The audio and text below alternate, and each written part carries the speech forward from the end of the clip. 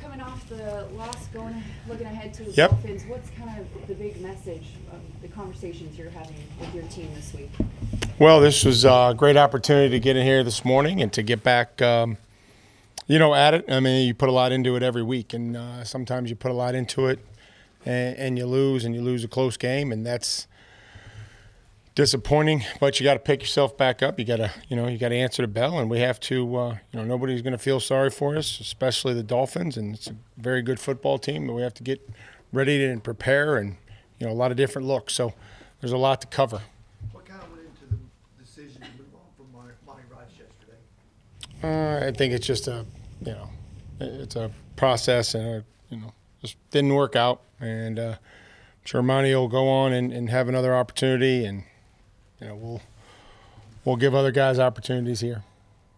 I guess Otis getting one of those opportunities, is he, he, he done good things for you on the practice? Yeah, I mean, he's, he did good things since he's been here, and um, you know, he'll he'll be a, a guy that that'll get some of those looks, and you know, signed. You know, JoJo Domann to see, you know, special teams uh, potentially help us there, and you know, those are, those are things that, that we'll work through as the week goes on to to get the the best 48, the right 48. What do you guys see out of Ty Zentner signing him to the practice squad in terms of maybe him coming up to, to punt? Well, athletic. Um, you know, he can kick off. He can punt. Obviously, that's his number one role. Will be to to punt. Um, you know, I had, had a bunch of guys in here, and you know, he he did a great job considering the circumstances and the outside and the weather and you know, the competition, and you know, excited to work with him. He, a holder as well? Yes, Okay. yes, Five did that as well. Five years ago today, Derrick had his 99-yard run uh, against the Jags. What do you remember about that? And is it crazy that it's already been five years since that? Yeah, I think probably yes. It's been, you know, I would say yeah, that's crazy to think that that's been five years. Um, just that he's still running, he's still running, he's still, you know, I think he's getting tackled, he's still running, and I don't felt like the play lasted five years. So um, tremendous, uh, you know, individual effort. Great, great job by everybody to to get involved early to to get him going, and then, you know, what he did, you know, after that was on his own. So. Um, time flies. Does it run X plays, Mike? The, the challenge of the X plays, this team is as difficult as anyone trying to defend those. Well, a lot of speed. You know, they've got um, you know a good scheme and a lot of speed, and you know the quarterback uh, Tua does a fantastic job of being able to distribute the football, um, and, and sometimes those those X plays are hands off handoffs. Sometimes they're they're short passes. It's not you know every single one. I mean, yeah, if you're you're pressed up on on um, you know Tyreek, you could guarantee that it's going downtown, but it's not just throw it over your head every time. It's you know catch and run. It's good ball placement um, by the quarterback. Um, you know, and then guys, you know, breaking tackles, and you know they they lead the league in you know missed tackles for. So those things will be critical once they have the ball in their hand. That speed being so elite that, that they have, is that something that you obviously can't simulate it? So how do you, you know, get ready for that? Is it something like you just you get out there and it's like, oh, I, I didn't realize that you know, he was that fast. Well, we certainly won't be able to, uh, you know, replicate all the speed. I think that, you know, being in the right spots and, um, you know, being sound and, you know, all those things that'll play into the fact that, you know, once they have the ball in their hand, we're going to need some, you know, we're going to need some extra people, uh, you know, to help and to take great angles and, you know, use your leverage and your help and all those different things that we talk about when tackling. Does Ryan uh, remain the backup holder, and what's his practice regimen for that now? Um, yeah, I mean, I think we've had Gibby snap, you know, as a backup snapper. We've had, you know, Ryan holding at different times, and you know, I would, I would imagine that Ryan would continue in that regard. How, how often do you want him doing Uh, in the game, never. You know, I mean, I think making sure that, you know, those things are, you know, we're, we're covering some of those those outliers and making sure that, you know, there's a backup at every position, uh, snapper, holder, you know, emergency kicker, you know, the quarterback. So, you know, just making sure that those things are, you know, you know, covered, uh, you know, once a week as we go into the game, and but also, you know, I would say that Ryan was um, pretty good in his job. That wasn't the reason that uh, you know, it felt like we, we missed a kick. Nick made it sound like it wasn't happening once a week heading into that game. Yeah, no, what I'm saying is whether it did or not, the, the, the snap and the hold, Nick Nick missed a kick. Nick's made a lot of kicks, and you know, I, I that was, um, I, I thought Ryan did it did a really nice job, and has done a nice job whenever we've asked him to do uh, that in practice or in the game. So, you know, hopefully uh, we'll we'll be able to execute all those things, and, and especially um, on on Monday night. How's Tom's voice been maybe at the start of the week as, as you kind of started new on, on? Yeah, I mean it's it's different. I mean we're we're in a different situation, but uh, you know Tom's got a lot of experience and looking forward to, you know, a great challenge. You know, we'll have to protect our our punter. We'll have to check our returner, uh, kicker when we kick the field goals, and you know, looking forward to uh, to that challenge. What stood out about their pass rush, Miami's, and, and kind of what has allowed them to have so much success this year? I mean, they they go and win, and guys inside. You know, they had a bunch of guys with, you know, with a handful of sacks, six and a half, seven sacks, um, you know, each. I mean, I, I mean, sit there and tell you how good Chubb is. Obviously, he's done it for a lot of years. Christian, you know, Wilkins inside. You know, David will blitz. Um, you know, Van Ginkel can can rush. He can you know, do games, execute games very well. So yeah, they, they, they bring it from everywhere and everybody's uh, producing. What's the key for that, for your offensive line to that? Outside of blocking them, um, you know, just making sure that we're inside out, making a pocket like it is every week. And if they, you know, sometimes the backs are going to be on linebackers. Like that's, you know, sometimes that's unavoidable. Like, you have to step up and stay square and not drop our head. You know, there's a lot of examples of, of guys blocking them, a lot of examples of, um, you know, guys winning and making a miss. With how much, with how- Um, with how much- How has he looked? You know, you see him racking up all the tackles. How has he looked from you know what you've seen from him? I mean, David's uh, been active. You know, he runs around. He's, you know, instinctive. He triggers, and um, you know, we'll have to block him. We'll have to, to block him uh, if we want to run the football. We'll have to block Baker. We'll have to block, you know, Wilkins and Sieler, and you know, get on their support players, and you know, hopefully be able to carry over uh, what we did last week. He, he was one of the guys you pointed out as a repeat offender with soft tissue injuries, and you see him there. He's healthy for pretty much uh, all of the year. Do you ever look at that and just say like, why is that? No, no. I mean, I think you know I'm not going to go back. You know, I mean, we just you guys, you know, a- answering questions about injuries, just pointing out that you know when you list all the injuries that some of those guys had, uh, you know, the, the same injury. You know, I mean, it came back and had the same injury. Um, you know, I really enjoyed my time with David. I, you know, I don't think that, you know, loved coaching him. You know, I'm excited to, to see him. I'm happy for him. Of course, I'm happy for him. He's persevered here and he's gone down and you know new opportunity and they're you know so again we, we're gonna have to block him and you know but I think when you you know however it was phrased or said it was just it was the same injury you know I mean the guy was trying to come back and had the same injury and you know couldn't play so that was I guess the answer to, to my question you know at the time it's but we're gonna have to block him if we want to gain some yards when we run the ball. with how explosive, with how explosive the Dolphins offense can be, how important is it for you guys to control the pace and the tempo of the game by having, you know, converting third downs, moving the chains, and not letting their offense have access to the ball? very That would much? be, you know, that would be uh, great. You know, obviously, you know, I mean, if you can possess it and drive it, and you know, be able to do that. You know, Philly, you know, had it for 37 minutes, and again, time of possession, you know, just depends what you do with it.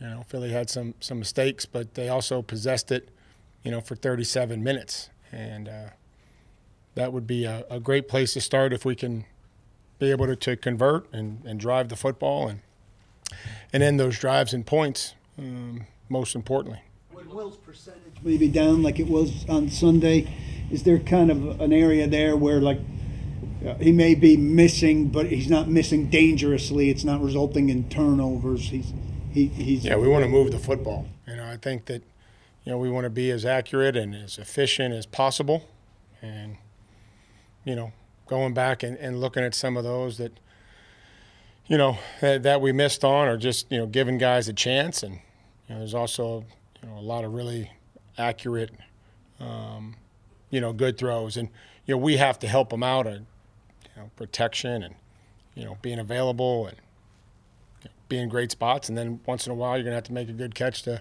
to help the quarterback out. So it, it's it's the full body of work when you talk about you know completion percentage. Doesn't Like seem a- like doesn't seem like many though that have been nearly picked off. Is is that a good sign? Getting in a little bit of your personal space, I feel like. yeah. right. Well, he needs to let somebody follow up once in a while. Um, y- yeah, certainly. You want to keep it out of harm's way. We've had we talked about at Jacksonville. There's been a couple where, you know, we we've got to be careful, um, but you know, also, you know, if you're gonna miss, you got to miss where it's the the receiver or or nobody. I guess to to your question. Along those lines, have there been plays when you've gone back and watched the film where there was a safer throw he could have made, and you'd rather he do that than than push it down the field a lot? Well, we want to push it. You know, I mean, if it's there, we want to go make a play. Um, but you know, I think there will always be, you know, those opportunities. We talked about the, you know, mirrored route, and he looked to Hopkins, and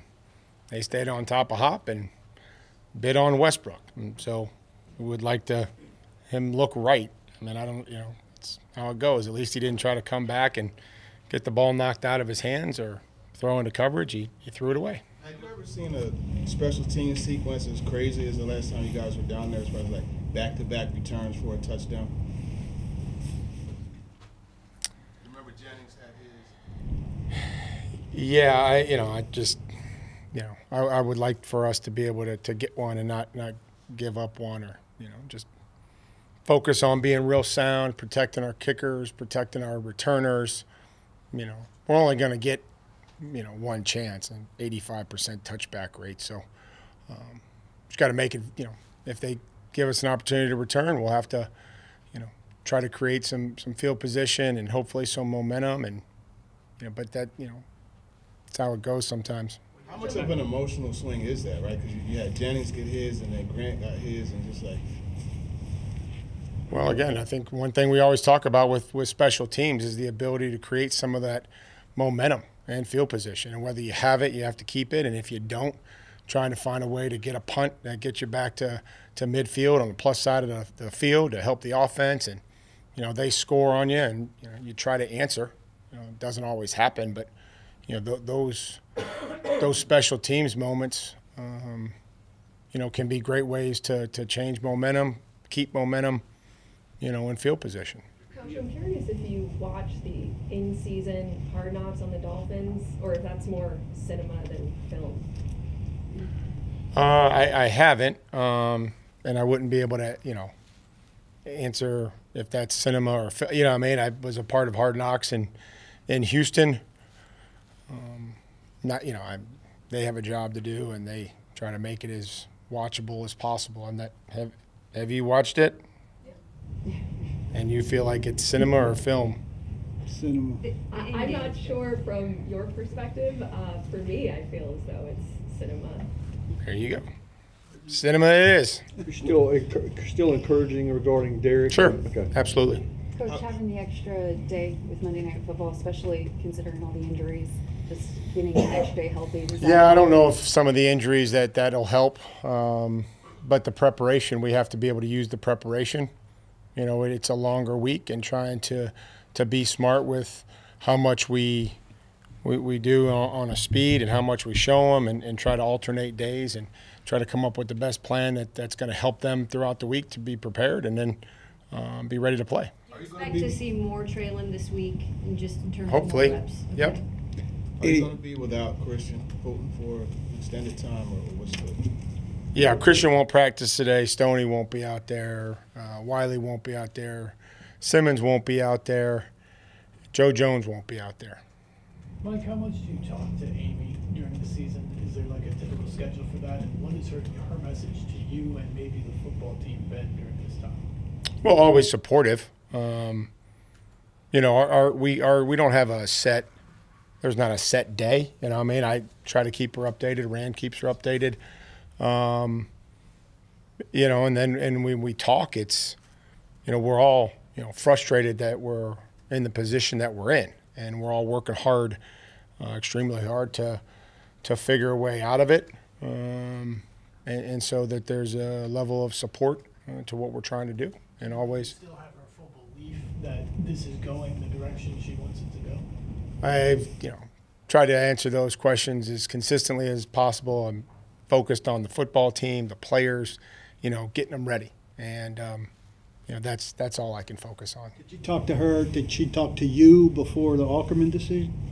We talk regularly.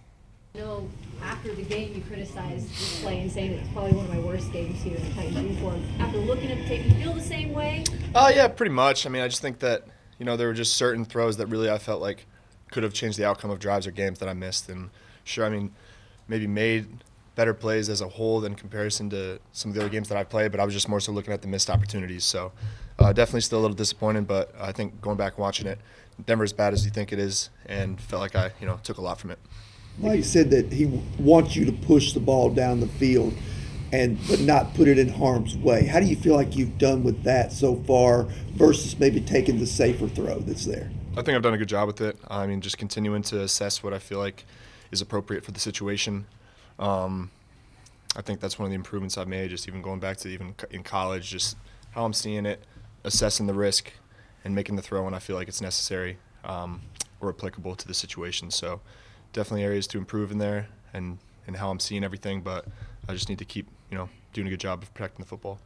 Would you would you say like your inaccuracy has been on the good side of the spectrum in that you haven't put the ball in a lot of danger and interceptions on For sure. there?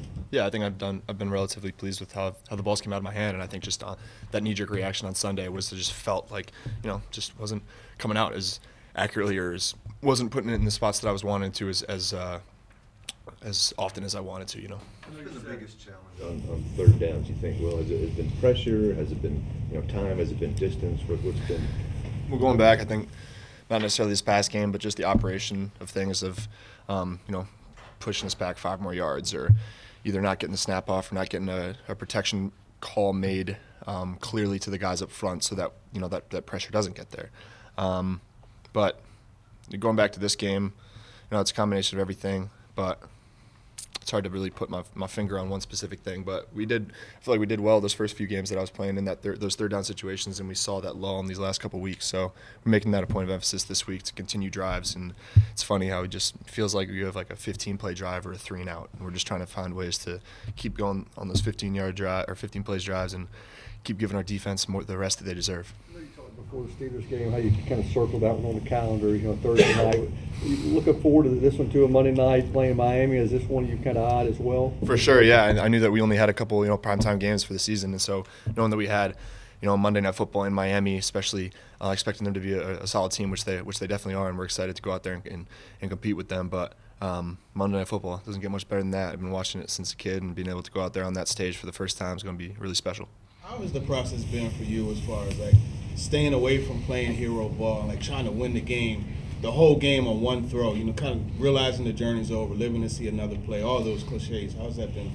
I think it's just knowing that my role within the team is, you know, just being the quarterback and doing my job. Whereas maybe in college, there are certain times like, you know, you can feel like you're supposed to be that guy on the field. You're supposed to be like the best player on the field, and, and you have to go and do things that, that equate to how people see you and how you feel about yourself. But I think I've just kind of relegated back to knowing my role and that I only need to do my role. And if I do need to maybe or if there's an opportunity to do something a little extra to, to get a couple more yards and to or to, to make a throw that might be a little riskier but I know I can make um, it's just continuing to kind of understand in those situations and when it's necessary to um, not put the ball at risk but but you know push the ball downfield or, or make plays with my legs and decisions uh, in that in that respect so um, it's continuing with the reps that I get to you know understand my role and get better within it. What did guys say to you in the aftermath of you forcing and recovering the fumble on Sunday after in the aftermath of that play? What was their reaction? Uh, I was well. I had because I had taken off and I didn't hear the whistle, and I came back, so it took me took me a while to kind of get everyone get back, and we were just like, "What the heck just happened?" But I told him I was like, "Yeah, I was like, I think he fumbled it. Like it's our should be our ball first down."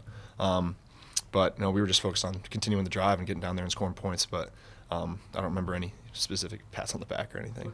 What did your family say to you on the helicopter hit you took, uh, you know, when you ran, ran for the first down? Yeah, it's not the first time they've seen it. So, um, but um, you know, my mom definitely is worried about my safety out there sometimes. So got to make sure that I'm continuing to protect myself and uh, and not putting myself in harm's way. Who are the people that kind of, when you get down in a critical yourself, who are the people that kind of lift you up, whether that's here in this building or, or outside these walls? Yeah, I definitely got to thank my coaches in here and coaches and players that have just been able to lift me up after either you know games or drives or just even things in practice that have come up and been able to just bring me back to that neutral state that we got to stay. And um, I just got to thank my coaches, especially for that, to be able to just be those people who understand how my mind ticks. And now that I've spent some months with them, they know kind of my personality and, and how uh, you know I can react to certain things, and, and they've done a good job of understanding that and, and coaching me the right way.